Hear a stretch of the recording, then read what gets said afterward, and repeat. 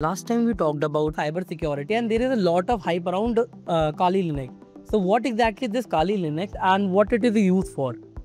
Kali Linux is a special operating system mainly used for ethical hacking and security testing. It helps you to find weaknesses and bugs in the system. Uh, so why it's so popular and what makes Kali Linux different? It's popular because everything you need for hacking or testing is already built in. It comes with 600 pre-installed tools like network scanners, password crackers and more so you can start working with them. Setting up these tools one by one takes a lot of time. Makes sense. Uh, so why should someone use Kali Linux if they are starting their career in cybersecurity? Because it saves time and makes things easier. You don't have to waste hours installing tools. It's all ready to go.